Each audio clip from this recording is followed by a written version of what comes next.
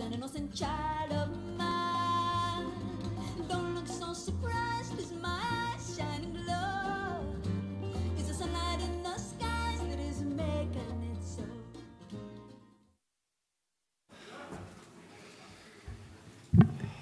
Strahinja, možemo, krenemo? Možemo. Ok. Poštovana ministarko Matić, eh, vaša ekscelencijo Godfrey, dragi članovi, oni koji ste ovde sa nama i oni koji ste a, hibridno prisutni, dobar dan i dobrodošli na poslovni razgovor sa ministarkom trgovine, turizma i telekomunikacije. Meni je veliko zadovoljstvo što je gospođa Matić danas sa nama, jer je Ministarstvo trgovine, turizma i telekomunikacija a, ima veoma širok spektar tema i od interesa, koje su od interesa za našu učanicu. Otuda i prilično veliki broj pitanja koje smo dobili za ovaj današnji susret. Ogromno mi je zadovoljstvo da kažem da mi imamo odličnu saradnju sa ministarkom Matić i sa njenim timom, ali takođe da podvučem da je ona uvek spremna da saslušna probleme sa kojima se suočavaju naše članice i ono što je i važnije od slušanja problema jeste i da te probleme zajednički i prevaziđemo. Ne, ne treba da ponavljam, mada nije zgoreg reći da su kompanije naše članice investirane preko 14 milijardi, da zapošljavaju eura, da zapošljavaju gotovo 100.000 ljudi, tako da e, naravno njihov glas, naš glas je jako važan u poslovnoj zajednici. E, zajednički rad na zaštiti prava intelektualne svojine, olakšavanju trgovinskih propisa, ukidanju necarinskih barijera i e, nelegalne trgovine preko interneta samo su neke oblasti od našeg interesa i saradnje koje su do sada dale zaista jako dobre rezultate. Naravno, ispred nas je dosta reformskih e, propisa koje tek treba da unapređujemo o čemu ćemo danas na panel diskusiji otvoreno i da razgovaramo sa ministarkom. Razgovor ćemo voditi kolega Ivan Miletić, naš prvi potpredsednik MČM-a i ja. Pre nego što dalje krenemo u diskusiju, veliko mi je zadovoljstvo da najavim kratka uvodna izlaganja. Ambasadore Godfrey, izvolite. Potom, gospođa Matić.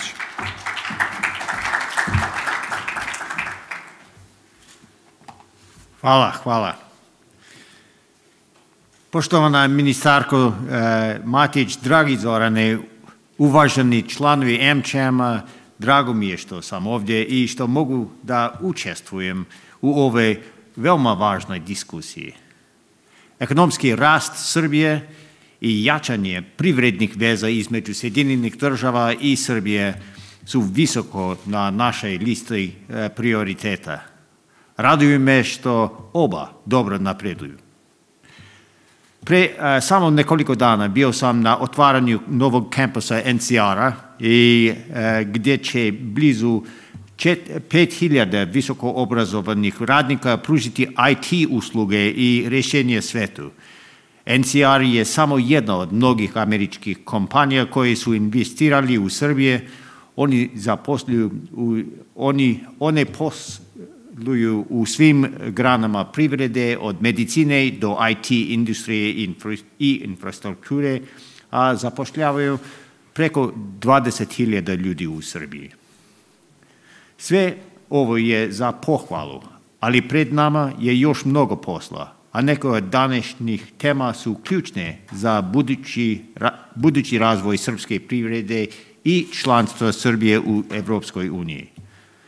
Koristim ovu priliku da pohvalim napore srpske vlasti i napredak u pogledu digitalizacije i uvođenja 5G mreže u Srbiji. Znam da američke firme koje nude opremu i pouzdanje usluge žele da podrže ovu inicijativu. Ministarka i ja smo razgovarali kako izbor opreme i provajdere usluga koji Srbija odabere mnogo mogu bitno da utiču na napredak naše saradnje. Vezna za napredak digitalizacije, moramo biti spremni i na zamke tehnološkog razvoja, poput ilegalne internet trgovine. Veoma me raduje što čujem da ministarstvo i MCM pokreću zajedničku kampanju protiv ovih ilegalnih aktivnosti koje nanose veliku štetu ne samo srpski, srpskom financijskom sistemu, već i zdravlju i interesima srpskih potrošača. I najzad, jako mi je interesuje da čujem najnovije dešavanja u sektoru turizmu u Srbiji. Kako sve i vi znate, Srbija me je osvojila lepotom prirode, gostoprimcom i naravno srpskim hranom. Želim vam uspjeha u panel diskusiji i molim vas, recite mi ili, obrati, ili se obratite mojim saradnicima ukoliko na bilo koji način možemo da podržimo ove inicijative. Hvala.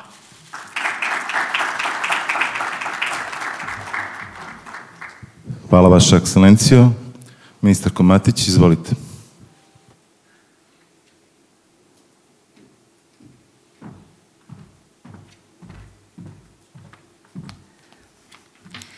Your Excellency, Ambassador Goffrey, dear partners from American Chamber of Commerce, dear partners, dear guests, members, the representatives of the media. Izuzetno mi je zadovoljstvo što sam danas ovde sa vama i što mogu da predstavljam Resorno ministarstvo za trgovinu, turizam i telekomunikacije, koje već evo čitavu skoro deceniju unazad uh, na čelu i sa bivšim potpredsednikom vlade, gospodinom Rasimom Ljajićem i ministrom i sada naravno sa mnom radi pre svega na građanju što boljih odnosa sa kako Sjedinjenim američkim državama, vladom Sjedinjenih američkih država, takođe i sa američkom privrednom komorom i ono što je za nas od ključnog značaja sa privrednicima iz Amerike. Smatramo da je učešće američkih kompanija u privrednom rastu i razvoju Srbije od ključnog značaja i nastavit ćemo i dalje da dajemo kao resorno ministarstvo doprinos u napređenju te saradnje.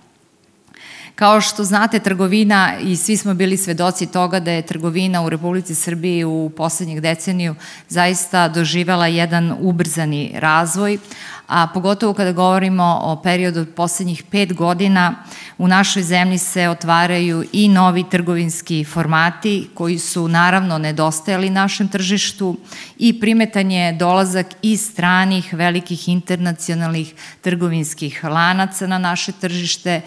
Kada govorimo o, o pri tome mislim i na Ikeu, i na Lidl, Mere, danas je ambasador evo spomenuo i NCR, želim želim još jednom da čestitam kompanije NCR na jednom sjajnom poslovnom poduhvatu i da kažem da smo i mi kao ministarstvo izuzetno podnosni, jer jedan od direktora u NCR-u je naš bivši državni sekretar u Reservnom ministarstvu za trgovinu, turizam i telekomunikacije. Tako da, dakle, naše ministarstvo zaista ne samo da pruža podršku, nego i kadrovski puno daje za ove kompanije. Ono što je nama važno i kada govorimo pre svega o američkim kompanijama i o američkoj privrednoj komori jeste nama je izuzetno bitno da dolazak internacionalnih kompanija na naše tržište pre svega donosi i nova iskustva, nova znanja, koje naravno da zaoštravaju jednu konkurentsku borbu, ali cilj svega toga jeste pre svega da se ide ka višem kvalitetu usluge i ka nižim cenama i da sami korisnici i građani zapravo imaju najviše benefita od toga. Kada je reč o digitalnoj ekonomiji kojom smo se mi posebno bavili u prethodnom periodu naglašeno tri godine i gde je takođe, gde su mnogobrojne međunarodne organizacije kao što je i USAID i UNDP, ali i Američka privredna komora dala svoj doprinos, Ja bih rekla da uh, samo zvanični podaci Narodne banke Republike Srbije pokazuju da je u prvoj polovini 2021. godine broj dinarskih plaćanja na sajtovima srpskih isključivo trgovaca iznosio blizu 11 miliona dinara, što je za 91% više nego u prvoj polovini prethodne godine. Istovremeno, vrednost tih pomenutih transakcija je iznosila preko 25 milijardi dinara, što je rast od 99% u odnosu na prvih šest meseci 2020. godine. Dakle, samo na osnovu ovih frapantnih podataka jasno je da je nastavak sistemske digitalizacije prioritet kako našeg ministarstva, ali i celokupne vlade na čelu sa premijerkom Anom Brnabić, jer ne zaboravimo Premijerka Ana Brnabić je zaista šampion digitalizacije u Republici Srbiji i ona je prva još od perioda kada je bila ministarka za državnu upravu i lokalnu samoupravu pokrenula mnogobrne procese reforme javne uprave kroz sistem pre svega pružanja elektronskih usluga, kroz uspostavljanje jedne funkcionalne elektronske uprave, a zatim je kao premijerka u svom prvom i drugom ekspozeu digitalizaciju stavila kao jedan od svojih prioriteta i to je zaista omogućilo mnogobrnim ministarstvima, među kojima smo i mi, da pre svega dobijemo jedan vetar u leđa i dodatnu snagu da možemo naše reforme e, da sprovodimo u delo. E, rekla bih dakle da je i nastavak te sistemske digitalizacije dakle ostao naš prioritet, a da je strateški pristup u ovoj oblasti od ogromnog značaja kako za razvoj e-trgovine, takođe e, i za razvoj nivoa digitalne pismenosti, što postaje sada jedno od ključnih pitanja, i takođe povezivanje aktera na tržištu poslovnog i obrazovnog e, sektora. Videli smo kako je kriza usled, pandemije pokazala da je institucionalni okvir dobro postavljen i da je e, dozvolio zapravo razvoj e, svih vrsta trgovine, što se na kraju naravno i oslikalo kroz utrostičan skok online prodaje i prodajnih mesta. Trgovina preko interneta se ubrzano razvija i sve češće zamenjuje tradicionalnu kupovinu na sreću ili na žalost nekih, zavisi kako to posmatramo, a tokom pandemije elektronska trgovina se povećala za čak neverovatnih 300%. Zahvaljujući novim zakonima iz oblasti elektronskog poslovanja, elektronske trgovine, kao i iz oblasti informacijone bezbednosti, koja je takođe ključna bilo je moguće naglo preusmeravanje mnogih aktivnosti u digitalno okruženje, od obrazovanja pa preko e-trgovine do mnogih drugih poslovnih procesa. Ovaj podatak predstavlja razvojnu šansu za naše trgovce, a zahvaljujući novim zakonima u ovoj oblasti pre svega zakon o elektronskom poslovanju, elektronskoj trgovini, ali i zakon o e, informacione bezbednosti, bilo je moguće ovo preusmeravanje na jedan kvalitetan i siguran način. E, kada govorimo o klasičnoj trgovini, Resorno ministarstvo trenutno radi na pripremi predloga strategije trgovine Republike Srbije do 2025. godine i ovaj strateški dokument će odrediti pravac razvoja trgovine u Republici Srbiji u narednom periodu i moram da kažem da su predstavnici između ostalog i Američke privredne komore uključeni u uh, izradu ovog strateškog dokumenta i kao i mnogo puta do sada mi imamo sluha za njihove proaktivne, konstruktivne predloge i na svaki način poslovnoj zajednici uvek dajemo šansu da a, nam kaže šta je to što je za njih problematično i šta je to što a, zapravo je neophodno poslovnoj zajednici u a, legislativnom smislu da bi ona mogla da ostvari maksimum svojih efekata, odnosno da bi mogla zapravo maksimum kapaciteta da kada govorimo o trgovini dostigne. Još jedan vid zajedničke saradnje Resornog ministarstva i MČM-a je i povećanje nadzora nad nelegalnom trgovinom koji je doneo značajne rezultate.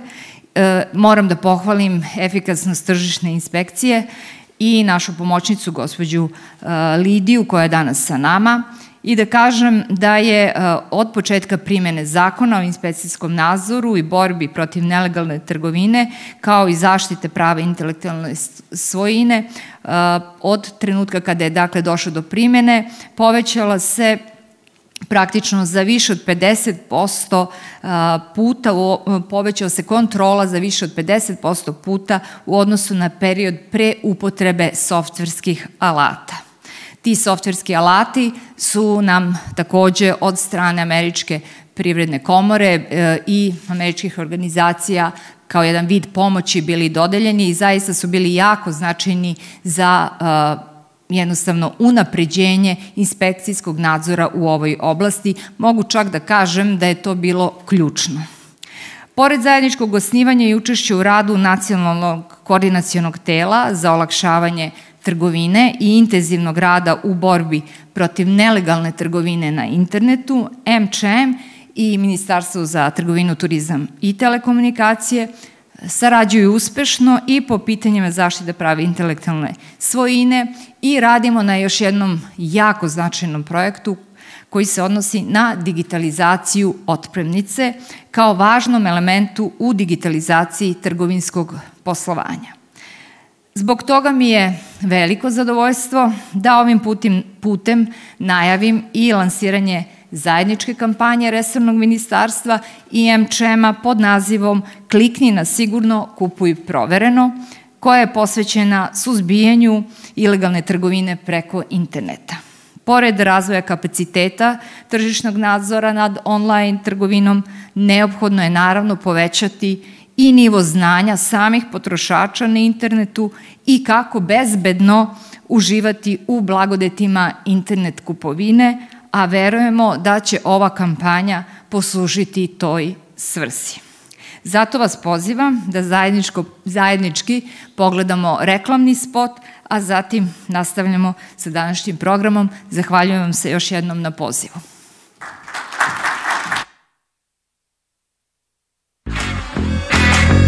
Kupujete online? Kupujte bezbedno. Ukoliko nešto izgleda izuzetno povoljno, proverite. Pazite kome i koje podatke ostavljate. Kupujte samo sa proverenih legalnih web sajtova. Da biste bili sigurni, proverite da li je firma registrovana. Klikni na sigurno, kupuj provereno. Više informacija na web sajtu Ministarstva trgovine, turizma i telekomunikacija.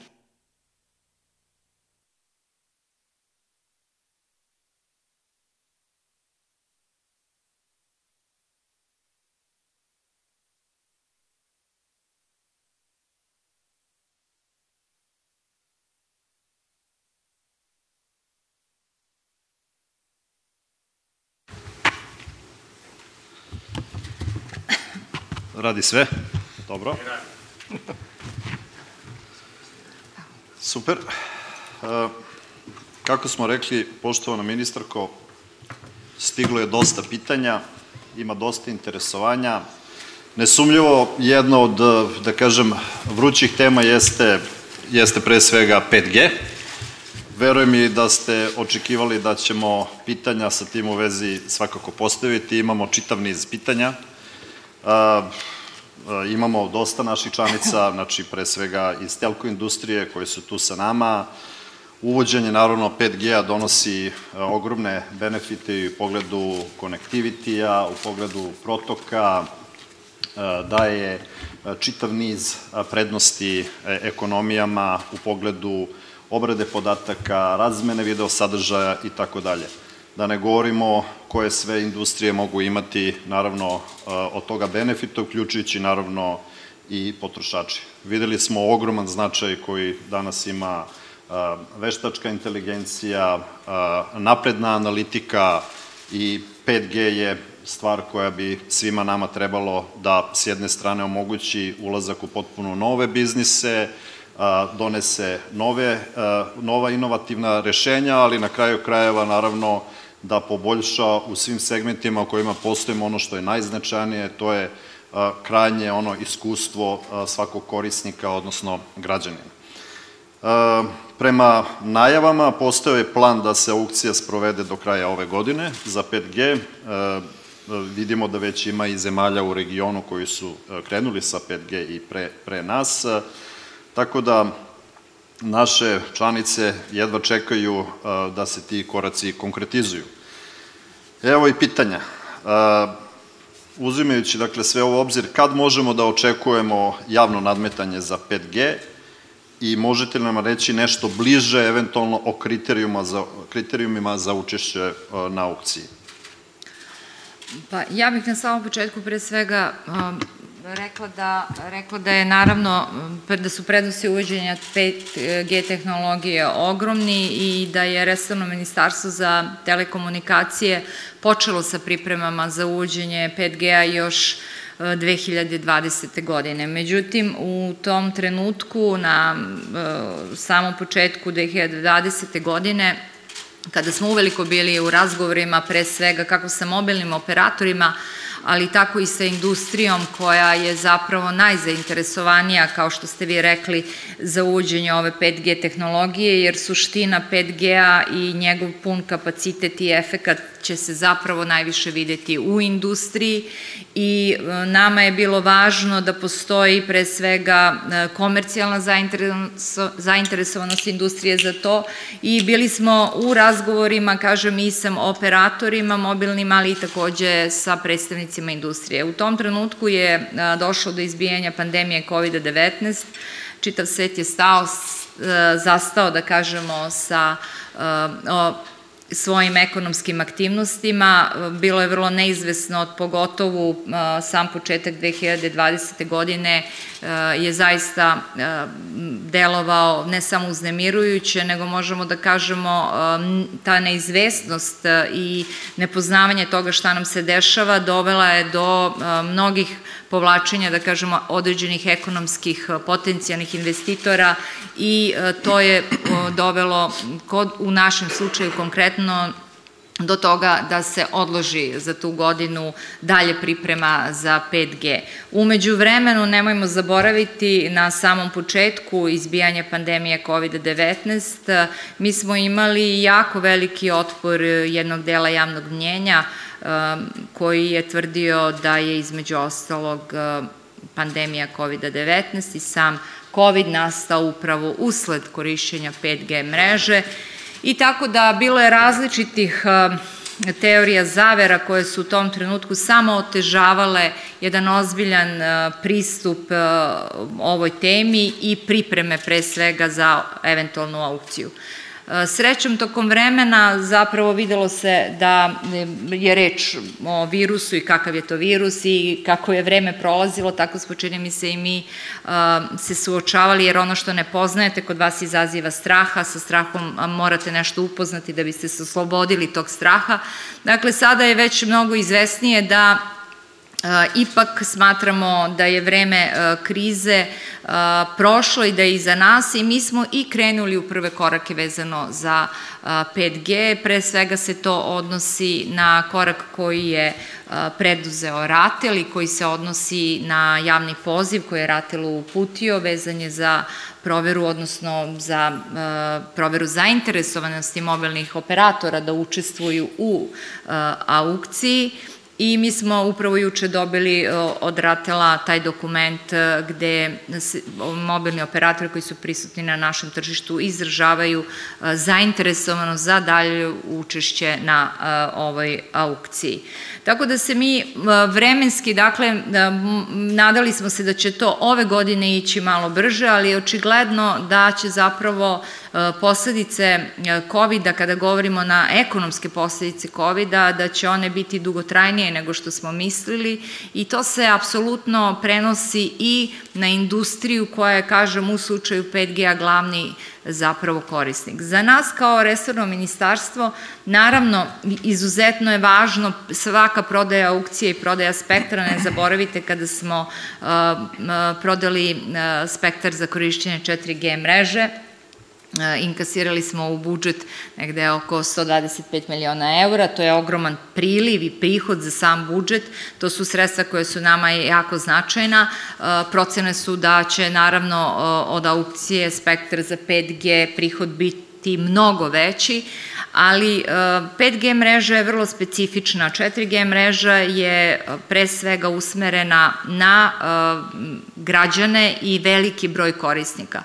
Kod 5G-a imamo upravo ovu situaciju da je nama najvažnije zapravo ne samo da prodamo taj spektar, odnosno licence za korišćenje spektra i da nam se slije određen prihod u budžet, nego nam je podjednako važno, neću reći da nam je čak i važnije, da se ulaže u infrastrukturu na terenu koja će zapravo omogućiti korišćenje 5G-a pre svega u industrijske svrhe, u agraru, u autoindustriji, u medicini, u mnogobrojnim, mnogobrojnim oblastima i suština je dakle da li je i u kojoj meri pre svega biznis zajednica spremna za to i naravno mobilni operatori da li su spremni i u kom vremenskom periodu su zapravo spremni i moraju uložiti u razvoj mreže. Ne želimo da nam se dogodi situacija u kojoj ćemo, jer najlakše je pod znacima naravno navoda, najlakše je ići na aukciju i prodati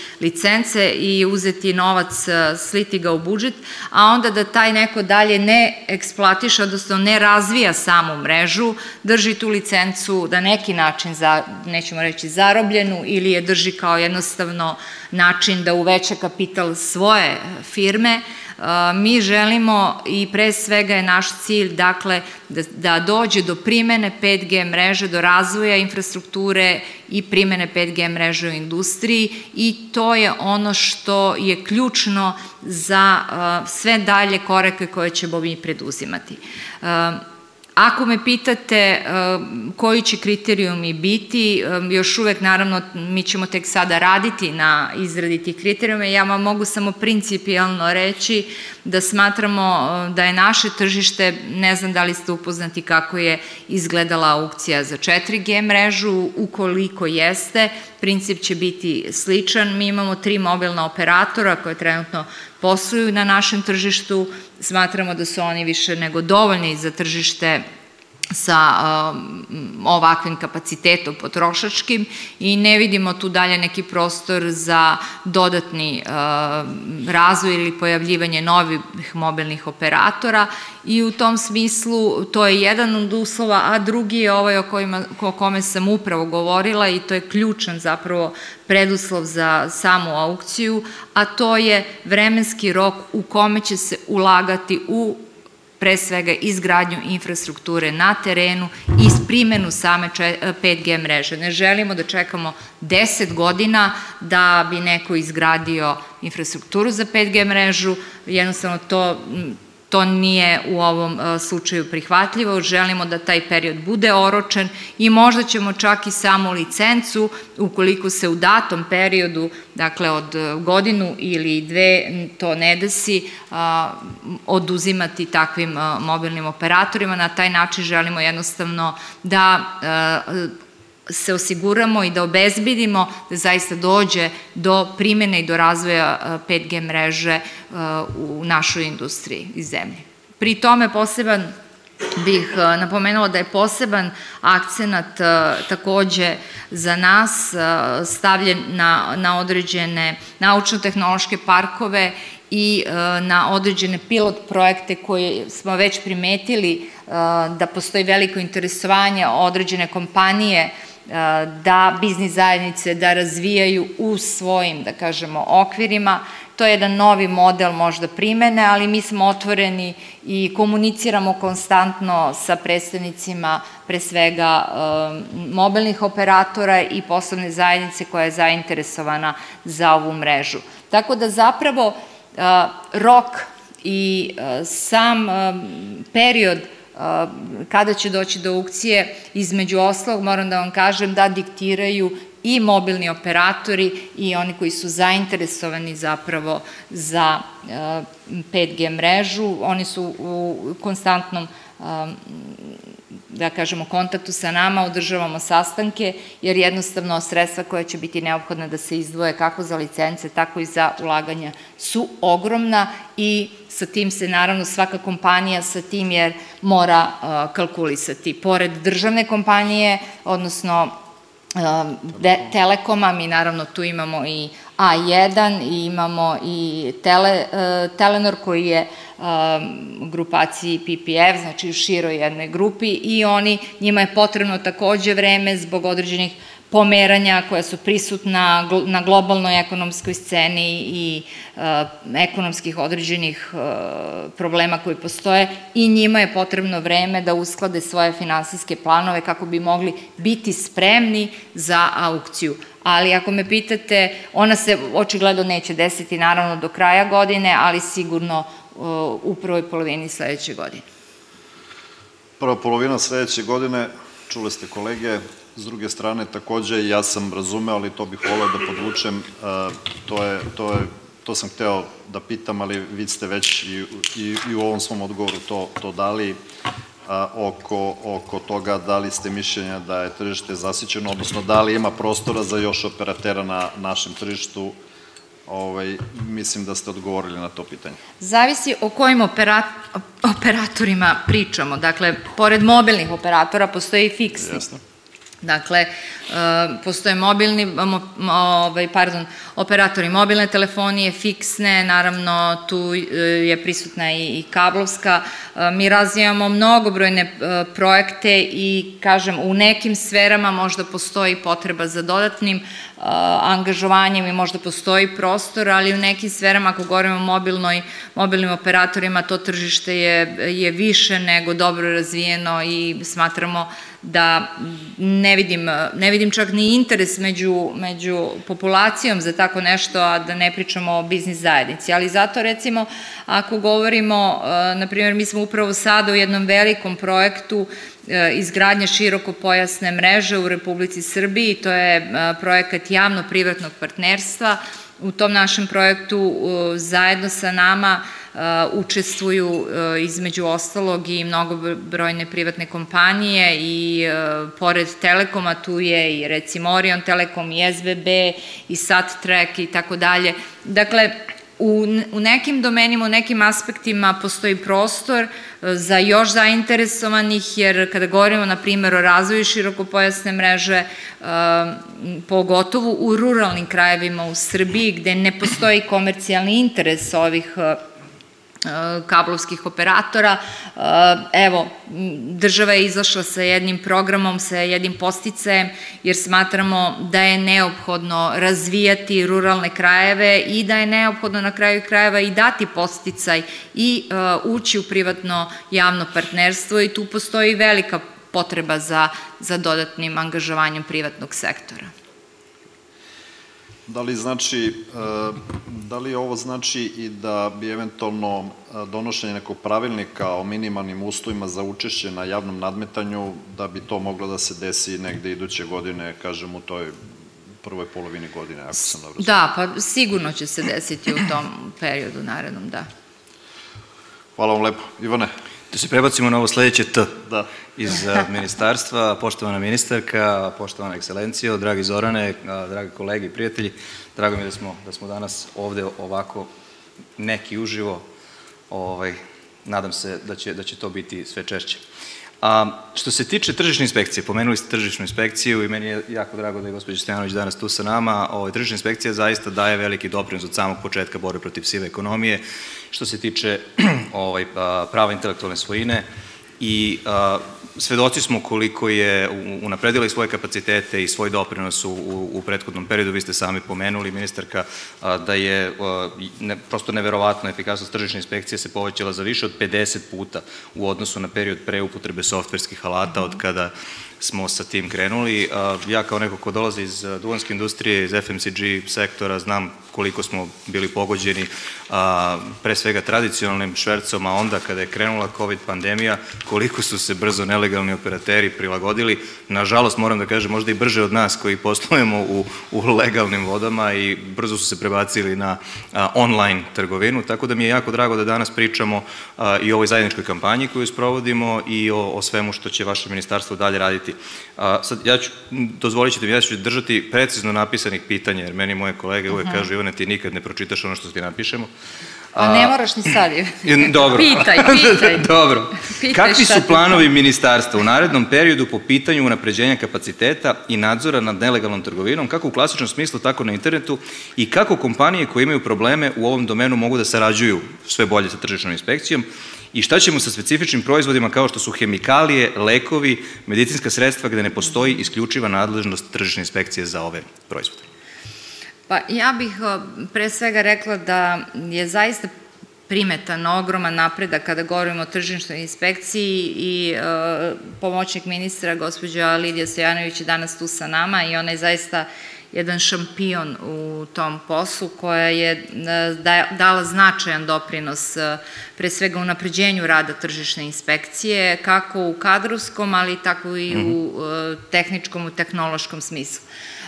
Veliki problem, sad ja mogu da vam govorim od 2012. godine kada sam zajedno sa bivšim potpredsjednikom vlade i ministrom gospodinom Rasimom Ljajićem bila državni sekretar i uh, tada je to bilo Ministarstvo spoljne i unutrašnje trgovine i od tih dana pa evo do danas m- moram zaista da kažem da je taj sektor doživeo jednu veliku transformaciju. Naravno da ima jako puno posla još da, da, da se uradi uh, i m, počela bih eto od tih dobrih stvari koje ste i vi naveli uh, pod vojstvom Lidije. Uh, mnogo, mnogo je unapređen, mnogo efikasniji rad tržišne inspekcije.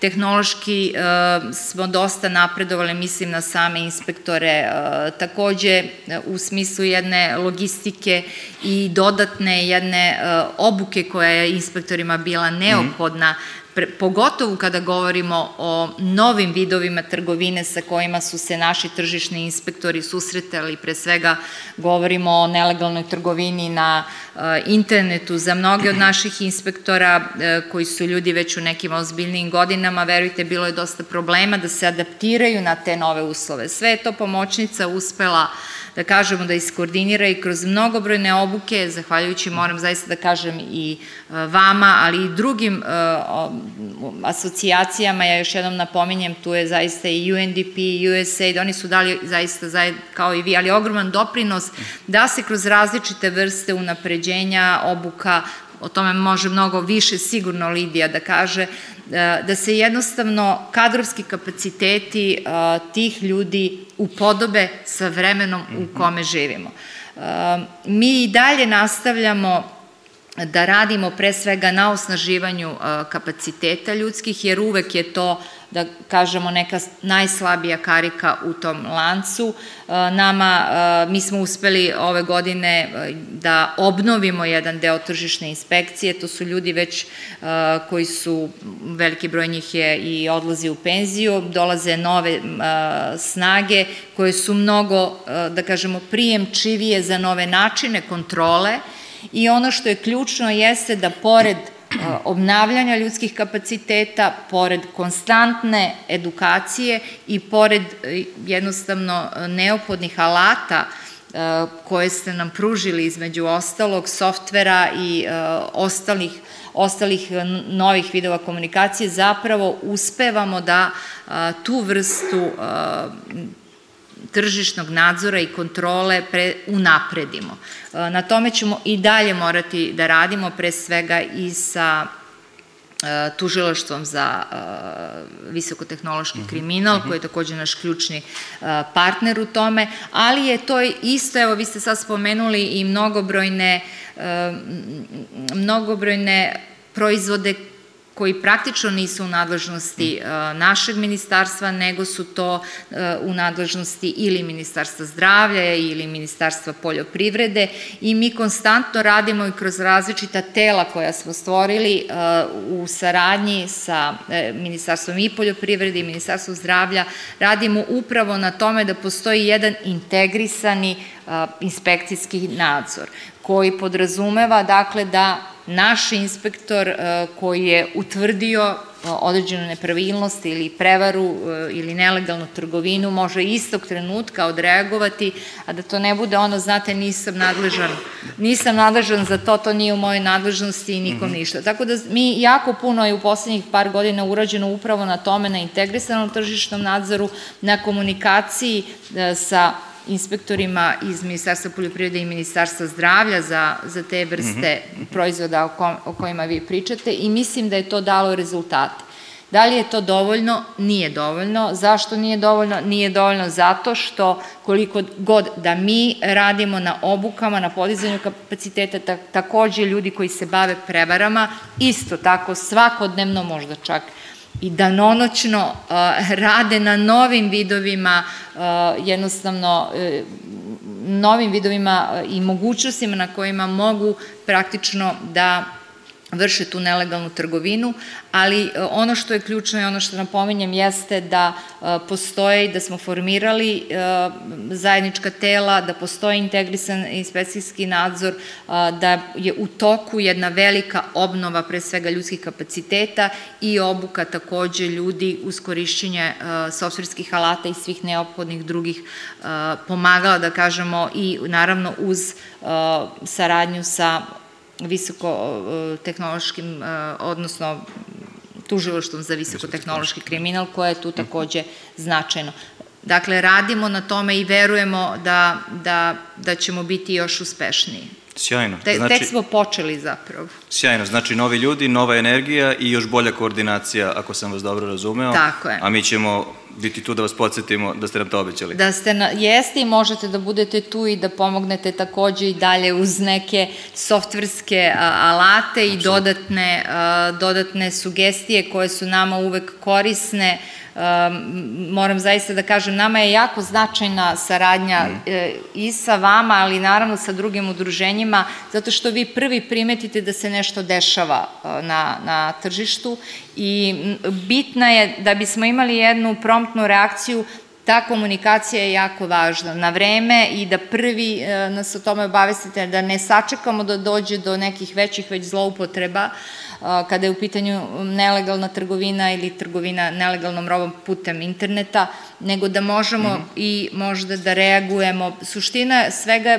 bi bila zapravo da možemo preventivno da reagujemo. Pre nego što se desi, da smo već mm -hmm. neke mere preduzeli. To, to je naš cilj. Sjajno. Hvala vam, možete naračunati na našu na nastavak naše podrške što se toga tiče. Sledeće pitanje iz domena digitalizacije. Pomenuli ste, ova vlada zaista jako puno radi na, na, na, digita, na digitalizaciji pre svega, svega zaista u Srbiji i naše članice već neko vreme jedna od tema je i formalna digitalizacija dokumentacije koja prati robu u prevozu, odnosno digitalizacija otpremnice, što bi značno, značajno smanjilo i administraciju i troškove i tako dalje, pa a, znamo da je zakon o trgovini u procesu izmene, da li možete nam kažete ovim zakonskim izmenama, da li će se taj proces omogućiti, šta možemo da očekujemo? Da, taj proces će se omogućiti, taj zakon je upravo u procesu, radimo na tome. Ne, ne mogu vam ispričati koliko smo imali otpora od strane ljudi koji jako vole pečate na papirima, ali ovaj, uspeli smo da prevaziđemo to i m, vrlo brzo će se taj zakon naći u proceduri i to je jedan od naših prioriteta, apsolutno, e, kao što smo uspeli zajedno sa e, Ministarstvom financija e, da omogućimo mnogobrojne, pre svega, porezke prijave, e, da omogućimo da se prihvate bez pečata, tako, i, i elektronski račun i tako dalje, i dokumenti. Mislim da je ovo isto jedna jako važna stvar, mi smo to kao resorno ministarstvo razumeli. Ja moram da priznam jednostavno, nije, nije jednostavno bilo, pogotovo u početku, da klasična trgovina prihvati uh, da, da je dovoljno da se pošalje elektronski ili otpremnica ili račun i da taj pečat jednostavno uh, nije sveto pismo, ali ovaj dobro, sve, sve je to uh, jedan mentalitet i jedna navika, pa jeste, to vam je kao i sa elektronskom trgovinom. Mi smo imali najveći problem sa e, time da elektronska trgovina zaživi zato što su ljudi e, imali predubeđenje da će roba koju će naručiti elektronskom e, trgovinom biti nekvalitetna, manje kvalitetna, da neće moći da je zamene. A stvarnost je zapravo upravo suprotna. E, čak smo omogućili zaštitu, mnogo veću zaštitu prava potrošača putem elektronske trgovine mm -hmm. nego li u klasičnoj trgovini. I bilo je jako teško u stvari sa tim, kao što znate, naj, najteže zapravo je boriti se sa predrasudama. I mi smo kampanje u prethodne tri godine, najveće kampanje smo vodili uh, upravo za dobijanje, pridobijanje javnog mnjenja, recimo za, jednu, za elektronsku trgovinu, da bi onda jedna situacija, kao što je pa, pandemija COVID-19, uradila više za elektronsku trgovinu nego svi naši napori koje smo mi ulagali unazad uh, pet godina. Tako da u stvari, za, šta to govori? To govori da znači jedno iskustvo pozitivno i naravno jedna situacija u kojoj ste dovedeni nekada može mnogo više da učini za dobrobit mm -hmm. neke ideje nego svi naši napori, pogotovo kada se mi kao predstavnici izvršne vlasti, ministarstva nalazimo u poziciji da branimo ili da zagovaramo da je dobro, da je recimo ovaj, da je digitalizacija dobra, da nam papiri više nisu neophodni, ne samo zato što želimo da sačuvamo ovaj, šume, nego jednostavno jer želimo da ubrzamo poslovne procese, a sada želimo i da zaštitimo, jel tako, još i dodatno naše zdravlje. Jako je teško da se veruje uh, državnim institucijama, odnosno predstavnicima izvršne vlasti, mhm. predstavnicima ministarstava, ali onda kad vas životne situacije u to uvere, onda se to prihvata i onda ljudi e, zapravo tek e, postaju svesni benefita. E, kada smo u pitanju mi kao resorno ministarstvo, radimo na izmenama zakona o trgovini, to je izvesno, desit će se bez obzira na sva narazumevanja ili predrasude koje postoje u vezi sa tim, mi ćemo to uskoro završiti i verujemo da, kao što smo imali priliku da vidimo i sa elektronskom trgovinom i sa digitalizacijom e, tolikih poslovnih procesa, to će građanima doneti isključivo i jedino benefit. Mi se često nalazimo u situaciji, pogotovo mi koji se bavimo e, sektorom informacijnog društva i elektronskih komunikacija, kad govorimo o digitalizaciji, i, i sa našim kolegama kada razgovaramo, e, naša pretpostavka i ciljne grupe o kojima mi razmišljamo, to su poslovne zajednice, to su građani, to je stanovništvo. E, ja razumem i drugu stranu koja razmišlja uvek o tome, e, o stranama koje bi to možda zloupotrebile.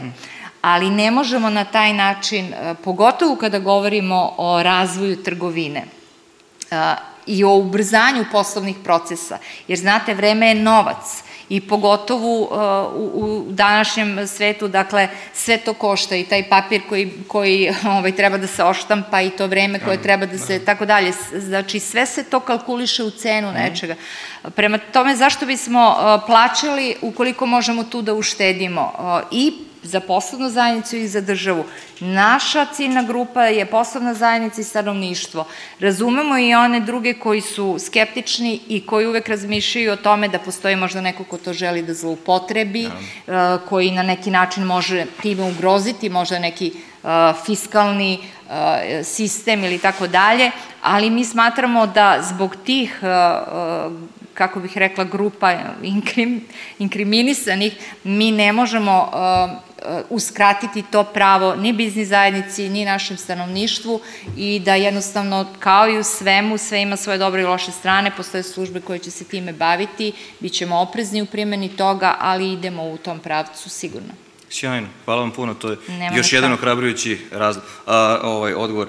I kad me već tako krenulo, ajde probam sa jednim malo možda kontroverznim a, pitanjem za kraj a, ovog, ovog drugog T. A to je, a, pričali smo o izmenama zakona o trgovini koje su trenutno, o kojim, na kojima se trenutno radi. A, imam jednu situaciju, ja moram da priznam da mi je trebalo malo vremena da razumem šta je, šta je problem, ali očigledno radi se o deklarisanju hrane, odnosno hrane iz uvoza, a, a problematika nastaje na terenu kada E, inspektori vašeg ministarstva i ministarstva poljoprivrede izgleda da imaju malo drugačije tumačenje o tome šta treba da piše na deklaraciji hrane iz, iz uvoza. Pa je jedno od pitanja koje smo dobili od članice, da li se planira usaglašavanje stavova Ministarstva poljoprivrede i Ministarstva trgovine po ovom pitanju i usklađivanje sa EU regulativom, za koje mislim da Ministarstvo poljoprivrede misli da je njihov ovaj stav usaglašen sa, sa EU regulativom, čime bi se unapredila predvidivost primjene propisa i otklonilo gomilanje nepotrebnih troškova za privredu, pre svega ovi koji dolaze iz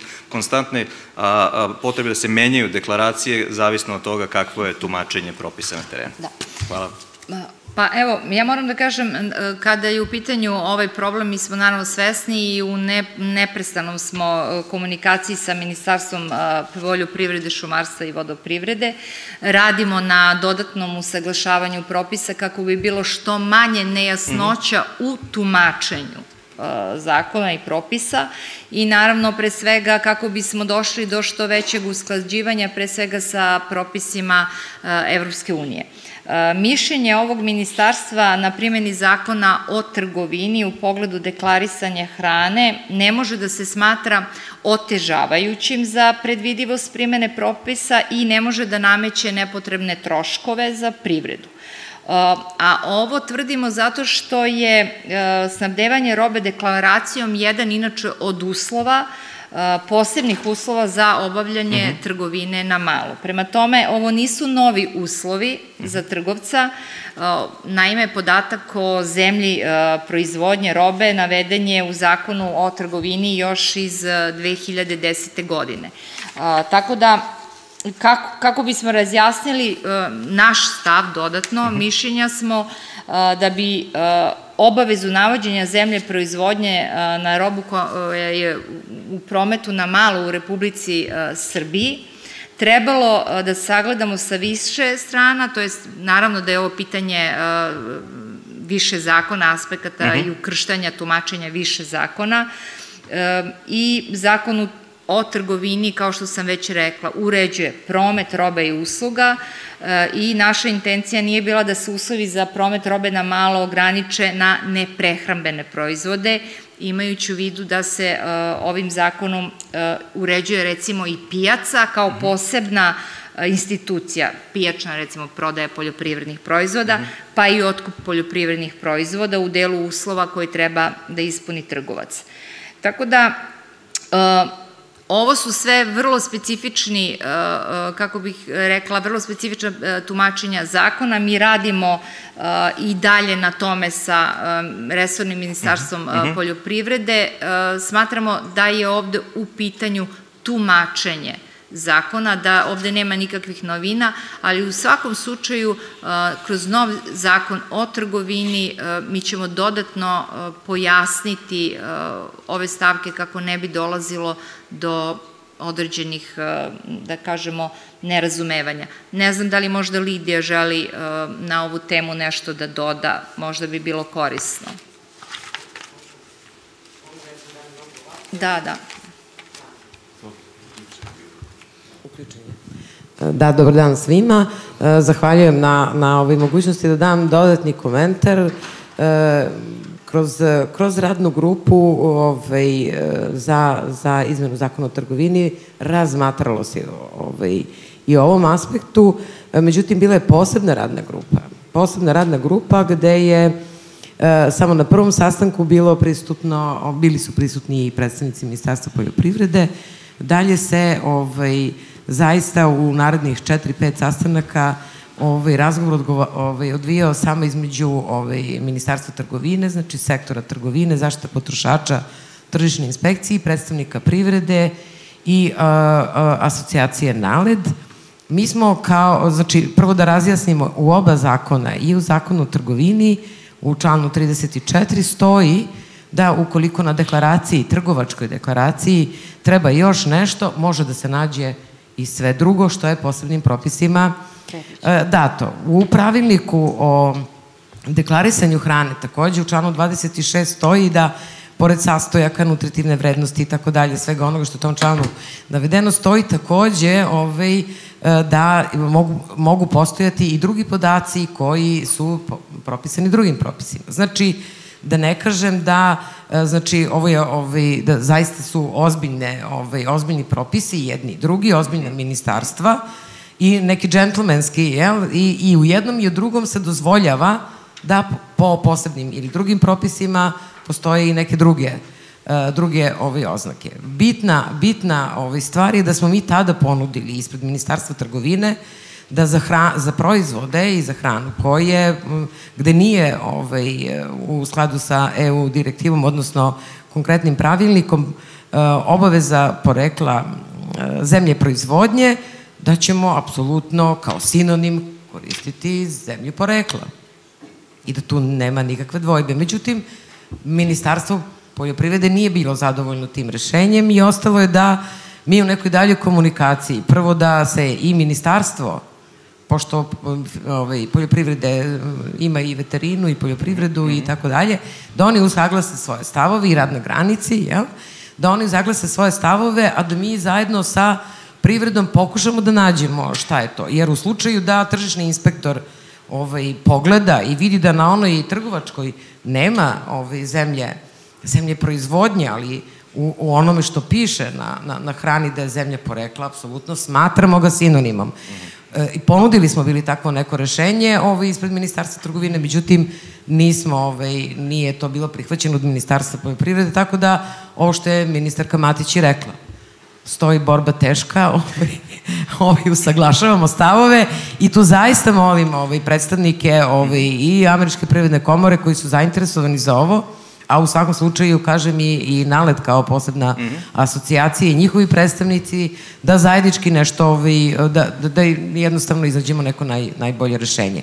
Uvek treba imati na umu da je cilj svega ovoga ne da bi jedni ili drugi organi radili, nego da potrošač ima punu informaciju o tome šta kupuje. Mi sada znamo da su čarape nabavljene, iz, da je proizvedeno recimo u Nemačkoj, ali za hranu ne znamo gde je, proizvedeno sa onim što poljoprivreda traži, da se potpuno isključi ovaj deo koji se tiče ovaj, propisa i zakona o trgovini vezano za hranu. Sjajno, hvala vam puno. Pa ja bih vas onda zamolio, ministarka, kad bude uh, gotov uh, ovaj uh, nacrt zakona, odnosno kad on bude, bude usvojen, da onda sednemo zajedno i da vidimo da li možemo da prevaziđemo ova tumačenja, jer kao što kaže gospođa Sjanović, ovo, ovo jeste ljuta borba, ali vaše ministarstvo je pokazalo u prošlosti da, da je dostojno takvih borbi, tako da mislim da, da ćemo i sa ovim izaći na, na kraj.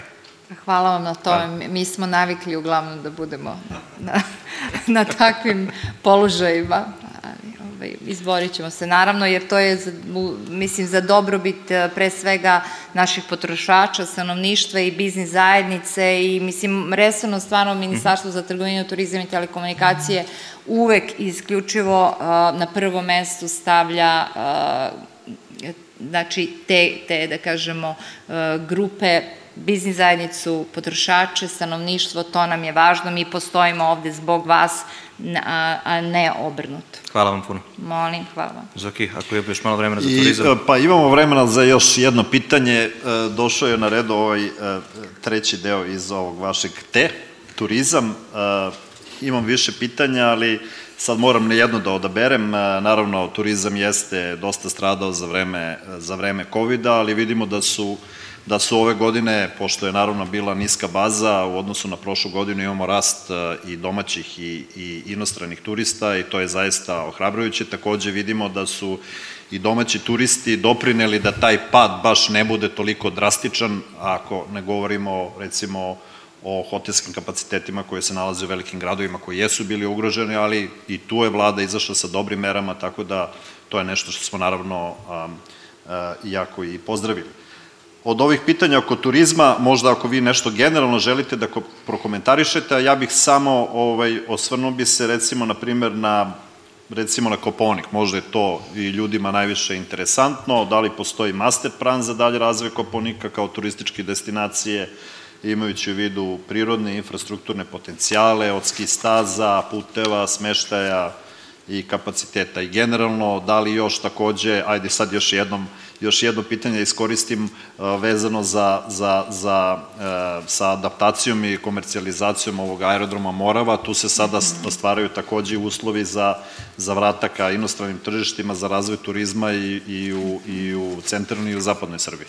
Hvala vam.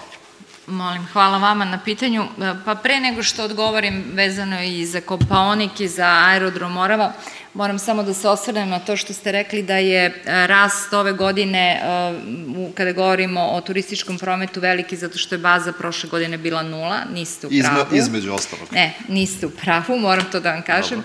Dobro. U odnosu na 2019. godinu, e, koja je u turističkom smislu bila rekordna godina za Republiku Srbiju, kada smo mi ostvarili preko 10 miliona prenoćišta u Republici Srbiji, 10 miliona recimo i 116 hiljada, i imali 3 e, miliona i 600 hiljada e, posetilaca, odnosno dolazaka. Mi zaključno recimo sa današnjim danom imamo preko 9 miliona i skoro 9,5 miliona prenoćišta u Republici Srbiji i naravno oko 2 miliona recimo i možda 200 dolazaka.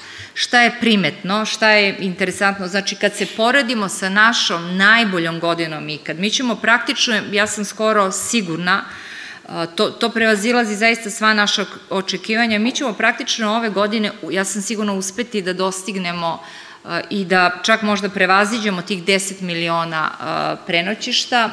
Broj dolazaka turista nećemo sigurno, tih 3,5 miliona, odnosno 3 miliona i 600, to sigurno nećemo uspeti sada, pogotovo sa ovom situacijom kakva je kada govorimo o COVID-u.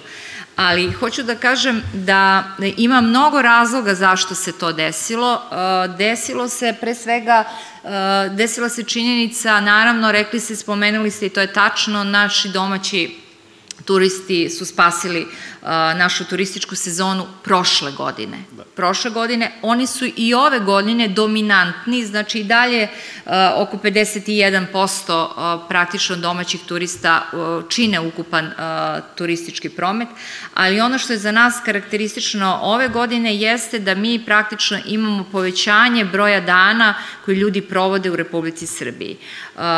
Naravno da je nama izuzetno pomogla zelena lista i činjenica da je Republika Srbija od maja praktično do kraja avgusta bila u jednoj sjajnoj epidemiološkoj situaciji.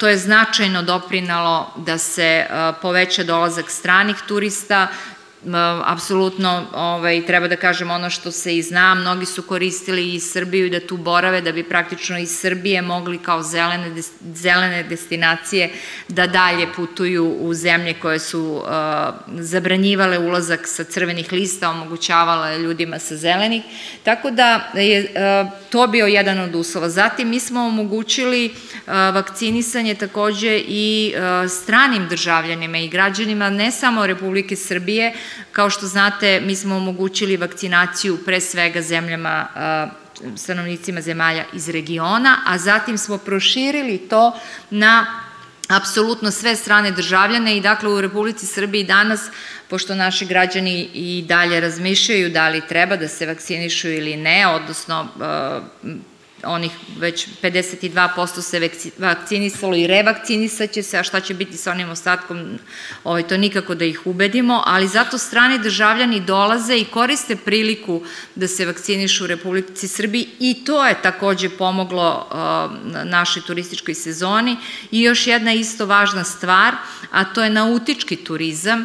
Mi smo dozvolili uh, kruzerima da prilikom pristajanja u naše marine, pre svega naravno tu pre svega mislim na Beograd, mi smo im dozvolili da samo sa, anti, samo sa antigenskim testovima mogu da napuštaju brodove i to su sve bili mali koraci, da ne pričamo naravno konkretni zapravo, ali mali koraci koji su doprineli e, e, povećanju e, dolazaka turista, pri tome smo sklopili mnogobrojne sporazume o međusobnom priznavanju digitalnih sertifikata sa mnogim zemljama čak i članicama Evropske unije, počeo od Grčke još u, aprilu, preko Mađarske, Slovenije do, do mnogih ostalih Češke, Ujedinjenih Arabskih Emirata i sve je to dalo rezultat da sad već smo, da ne nabrajam sve evropske zemlje, i Italija i Španija i Nemačka, imamo sporazum o reciprocitetu, dakle i to je sve bilo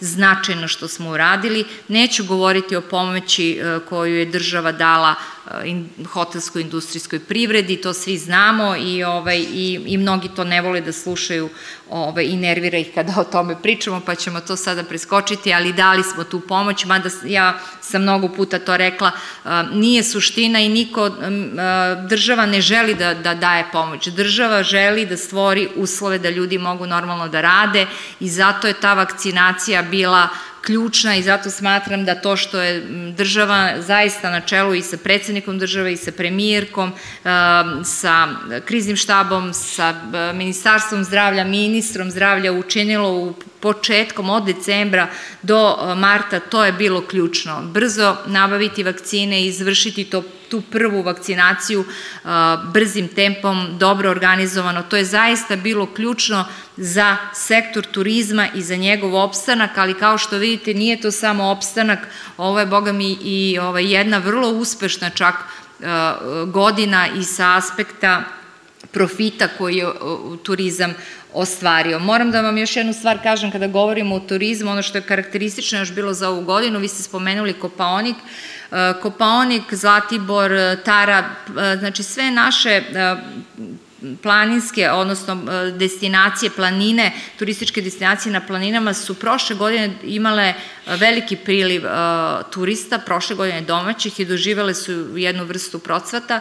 Ove godine praktično su banje bile u centru pažnje i banjski turizam je ove godine u Srbiji doživeo neverovatnu ekspanziju i ja mislim, vi ste me pitali naravno o planinskom turizmu, o razvoju Kopaonika, ima tu još drugih planina, naravno koje će se tek razvijati, Stara planina i Golija, koje tek zapravo treba Tara takođe svoje kapacitete da razvijaju, ali ja mislim da će se pre svega u narednom periodu strateški zapravo banjski turizam se pokazao kao jedan ogroman potencijal koji će Srbija tek iskoristiti pre svega zato što banjski turizam može da funkcioniše tokom cele godine za razliku od planina koje još uvek nisu dovoljno razvile te dodatne sadržaje van zimske sezone i to ih donekle ograničava. Kada govorimo o master planovima, pitali ste me za Kopaonik, što se tiče Resornog ministarstva za trgovinu, turizam i telekomunikacije, daćemo sve od sebe i nećemo dozvoliti, ako, ste, ako je to bilo ovaj, u kontekstu vašeg pitanja, da Kopaonik postane novi Zlatibor, to se neće desiti, naravno da postoji master plan, za Kopaonik, taj master plan je još davno donešen, ja mislim i 2000 još i 16. godine i on, on je naravno podložan različitim nekim promenama i suština jeste da, se, da je trenutno u skladu sa strategijom razvoja turizma u Republici Srbiji od 2020. do 2025. mi ukupno 16 master planova treba da završimo. Kažem, kada govorimo, izvinite, 2009. je urađen za turističku destinaciju Kopaonik master plan, menjan je 2016. Ali evo ja moram još da vam kažem, mi imamo 16 master planova za razvoj strateških destinacija, moram da ih pročitam, nisam mogla zaista sve da zapamtim. Fruška gora za područje Irig, Golija, Sig, Kučajske planine, Palić, Gornje Podunavlje, Donje Podunavlje, Put Rimskih careva, Sokobanja, Stara planina, Tara, Vlasina, Zlatibor, Zlatar, Novo Miloševo, Bač, Bački Petrovac, Bačka Palanka, Besna Kobila i naravno Sremski Karlovci. Kada govorimo posebno o Gornjem Podunavlju i Donjem Podunavlju, ja moram da kažem da je jedan od naših većih planova i kapitalnih projekata u narednom periodu upravo usmeren na nautički turizam i na razvoj pre svega pristaništa i marina duž naših prelepih reka, pre svega mislim na Dunav, ali naravno i na Savu, pogotovo Dunav kao jedna, da kažemo, međunarodna turistička destinacija apsolutno nije dovoljno iskorišćena u Republici Srbiji i nautički turizam je nepravedno bio zapostavljen prethodnih godina, ali nemoguće jednostavno razvijati istovremeno toliko, da kažemo, kapaciteta, jer ovde se radi o ozbiljnim ulaganjima u turističku infrastrukturu. Mi smo se prethodnih godina dosta bavili upravo razvojem turističke infrastrukture na planinama i tu smo, da kažemo, došli do, do jednog stepena gde ja mislim da država više i ne treba da, da interveniše. Dovoljno je, mi smo stvorili jedan, da kažemo, povoljan okvir za investiranje i to već postaje nešto što privlači strane investitore.